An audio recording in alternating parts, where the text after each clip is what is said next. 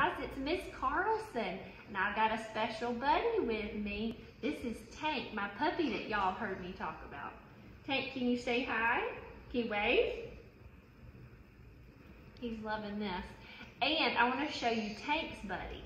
Tank has a puppy buddy, and his name is Biscuit, and he loves Biscuit, even though he's almost as big as Tank is. And Tank wanted us to read a story about a dog today. So we picked out a book called If You Give a Dog a Donut. Tank's never eaten a donut before, but he would probably really like one. If You Give a Dog a Donut, written by Laura Numeroff. She's the author. And it's illustrated by Felicia Bond. That means she drew the pictures.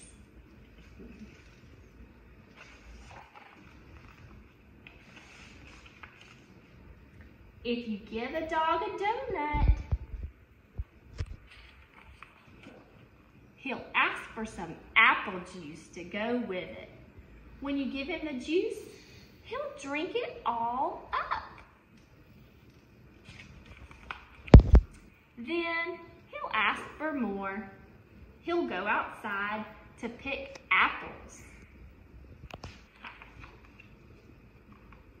When he's up in the tree, he'll toss you one. Throwing the apple will make him think of baseball. Tank has a toy baseball and he loves to get it and roll it. He'll want to play. You'll have to get a ball and a glove.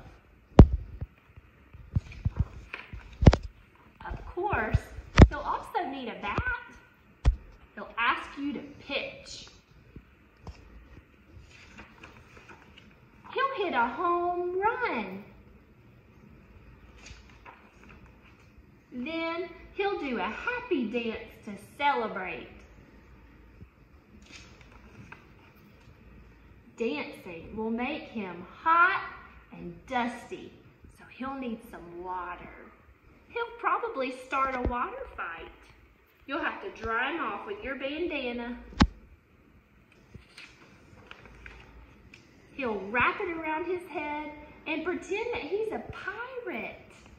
Then he'll want to go on a treasure hunt.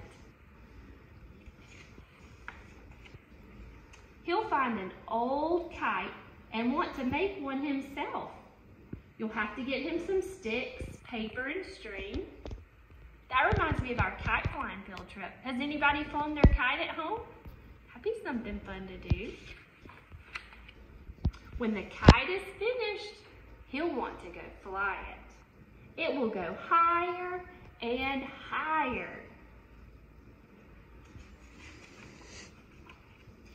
Until it gets tangled up in the apple tree. The tree will remind him of apple juice, so he'll probably ask you for some. And chances are, if he asks for some apple juice, what do you think he wants to go with it? He'll want a donut to go with it. That silly puppy. I think Tank's ready to take a little nap. Can you tell him bye-bye? Bye-bye. Bye, guys.